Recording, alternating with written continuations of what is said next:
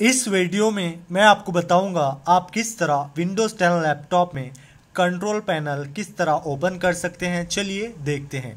तो आपको इसके लिए टाइप हेयर टू सर्च में इंटर करना है कंट्रोल पैनल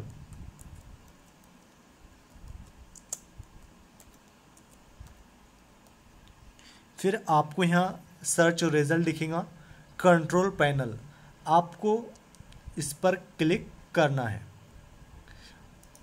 इस तरह आप कंट्रोल पैनल ओपन कर सकते हैं विंडोज़ 10 लैपटॉप में।